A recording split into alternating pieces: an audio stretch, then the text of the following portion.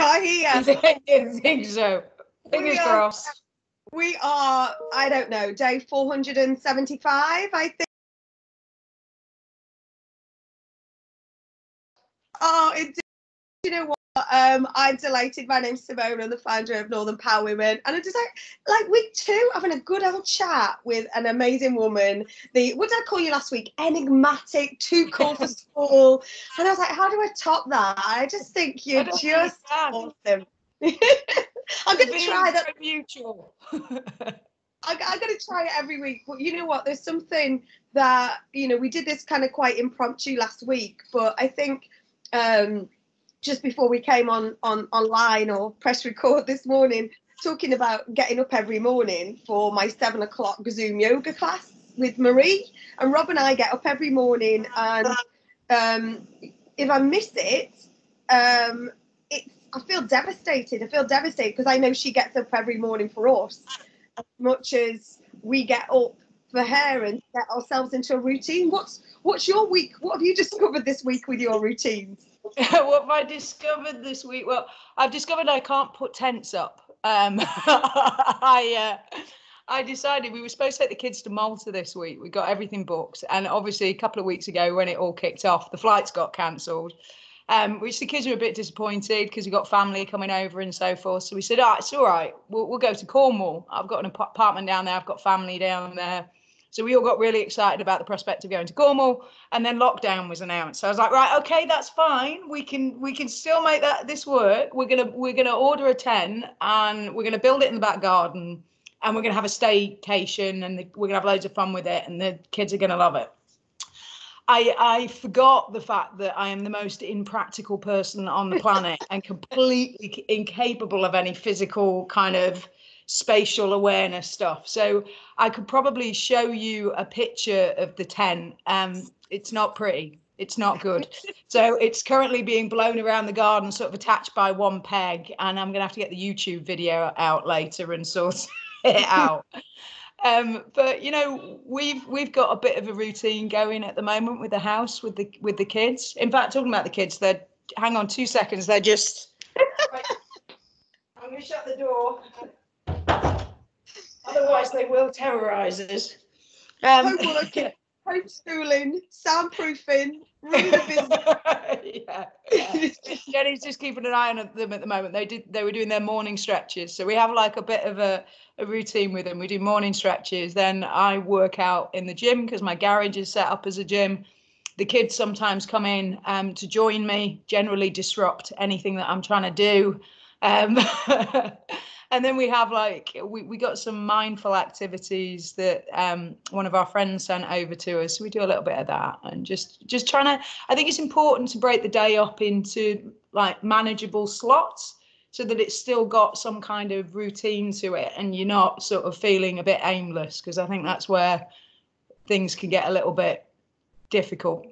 Yeah, and I think this is where I'm. I'm since I say we spoke last week. I've made a real point of you know reaching out and having conversations because obviously I'm a, a shy, retiring individual like yourself, you know. But I, to take people out of our world is almost a bit like cutting oxygen from our, our supply and stuff when we're used to either dealing with our teams or dealing with our suppliers or dealing with our you know community uh, sponsors whatever that may be but i know you're the same it's like these are human beings they're not they're not they're not labeled as oh well i'm going to speak to them with a sponsor voice on or anything they're all Yeah. real people and i think i'm I've, this is I've been I've been really mindful of this. You know, really great leaders, um, powerful influencers suddenly having that cut off, and that you know where they are having that conversation in a on a train station or an airport, or a coffee machine.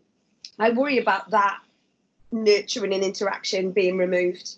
How are you dealing with that? Because you've got a, you know, over 200 staff. We talked about the F word last week, you know, uh, and it's, you know, I've now realised it's a verb, isn't it? So it's not just a furlough; it's to furlough. So uh, and, and and you shared some information, and I think that has been on on many businesses um, and organisations, small and large alike. You know, so how are you dealing with one that whole people factor of them now working in different ways, and and equally having less people in your life? Yeah, so it's an interesting one. I actually think I probably had more conversations this week, um, particularly with team members. One of them was laughing, saying, I've, "I'm not spoken to you this month much. I'm not sure ever."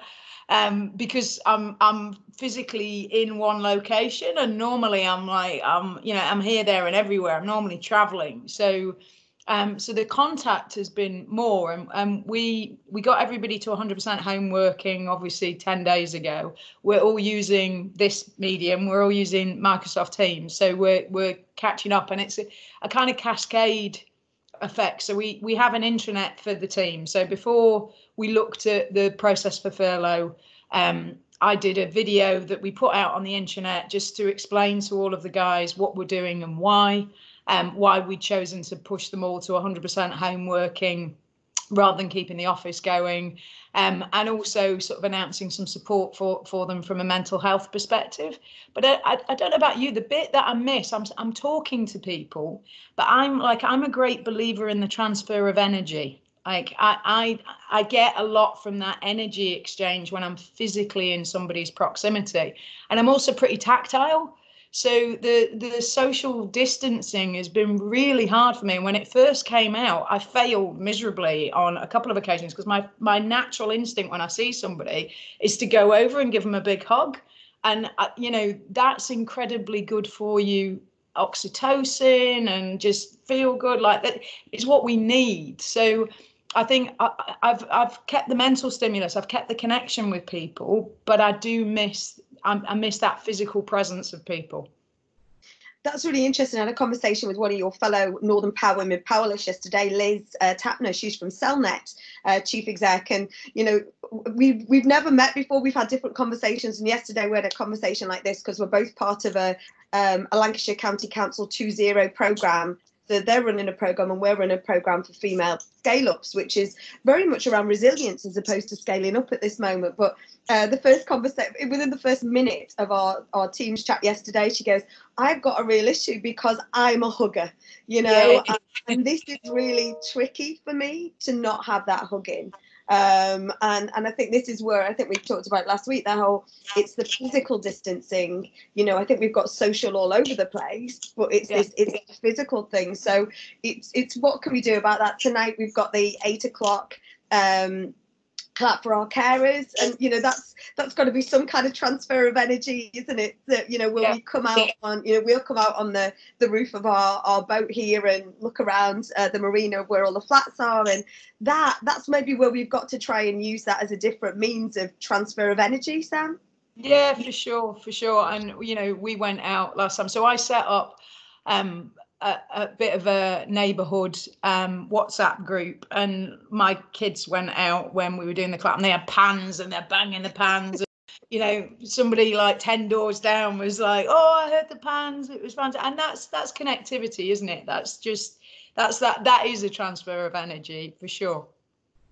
And who um, can I ask who holds you up? Um, you know, you are a natural helper, collaborator, and in the last sort of six or seven days since we spoke, I know that you will have helped and supported so many people. You've sent me videos that I can use and, and stuff like that, and I appreciate that. But who holds you up? Oh God, I'm like I'm really, really lucky. Um, people like yourself, Simone. This is as good for me as as it is for you. It's that's an exchange that we have and that has been very positive for the last couple of years. And I'm I'm really fortunate that I've got um, some really fabulous people in my life, and it's at every level. You know, I've got people that I would consider mentors for me. So um, I got a text message out the blues, a guy called Jason Stockwood, who's um, big industry figure in the insurance world, really fabulous human being. And he just sent me a text message and said, um, you know, not sure where you're up to with everything, but if you want to bounce ideas or kind of sense check any of the stuff that you're doing at the moment, I'm here, give me a call. So I called him up, had an hour on the phone with him, was really, you know, really, really helpful. But I've also got a fantastic support network at home. I mean, my my partner, my fiance, is incredible, um, and she has been so supportive because obviously we are trying to juggle, and you know, there's the kids and the homeschooling, managing this process that we've got to take the the staff through. And then it's just the day-to-day stuff the work that has to be done. And i think you need you need teammates. And that can be your immediate family your extended family friends business associates. But you you need people who are um, you know it's that expression look for the helpers. You need people that are helpers. And actually what i've found through this whole process is that there seems to be a real gravitational pull that a lot of helpers are kind of pulling together and helping each other. Yeah, I think that's where the, the, the collaborations come from. You know, I was talking with uh, um, Sarah Waddington, who runs a astute PR over in Newcastle, and they, she's pivoted into this wider Northeast collaboration um, around not just around the economy, working with the um, the chambers and, and, the LEPs and stuff, but you know the the vent- ventilator task force and stuff like that. It's it's fun. That's what excites me is these, these amazing stuff that comes out of this. And um, I think sort of my final question for you is, um, what's your guilty pleasure? Because there's a lot of content and gifts and videos. What is it?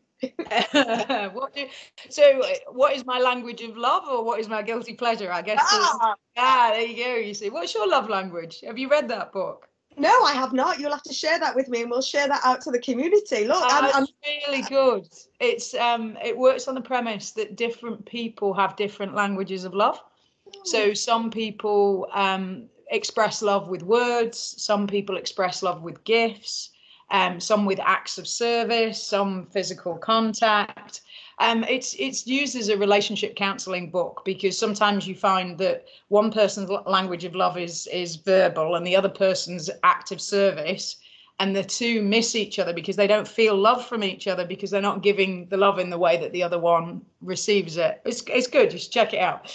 Um, but guilty pleasures. I mean, the snack jar is is getting a bit of a hammering at the moment. I think I might actually have to get a big old padlock on there. I've, I've looked at some really funny memes um, recently about you know what we're all going to look like when we get out of quarantine. um, but look I'm trying to count. yeah, the, the roots and uh, like the chocolate biscuits. Um, you know, I, I mean, uh, normally my guilty pleasure would be kind of going out and socializing and kind of spending time with people. I always, you know, sad as it is, I do enjoy the gym. I do enjoy my chocolate biscuits. Um, but I think right now it, it's really, for me, weirdly, my guilty pleasure at the moment is sticking to a routine. my usual mode but it seems to be uh, it seems to be working for me. Not very cool, um, sticking to a routine. you know, but that's good. Yeah, but that's good for you. That is properly, you know, out your comfort zone. So I think that's fantastic. I've been mainly cooking I, I absolutely love cooking. That's my kind of mental downtime and whatever. And since we discovered this this kind of um, independent group in Liverpool, I, I'm getting the best food delivered, but you know, didn't really need to get a bag of cheese for ten pound because you know. Didn't really need that, but yeah, I, ha- I feel like I have to eat it because I'm s- supporting a small business. So, uh, absolutely, uh, and there's so always think, time for cheese. on that note, Sam, there is absolutely always time for cheese. And let's hope we have more cheese on next week's chat. But thanks so much. Be safe this week. Yeah, Love to your family. And you're right with it. Your Jenny is absolutely a rock star. Um, you know, I really think we need to call for some help about the tent, but you know, we yeah, could. yeah, I, am already d- d- working out how we can do it in a socially distanced way. I'm going to have to get onto Bear Grylls. I think that's our, that's our, that's our option at the moment. So, but listen, thank you so many, uh, so much for your time again, and catch you next week, Madame. All right, take care. See you next week.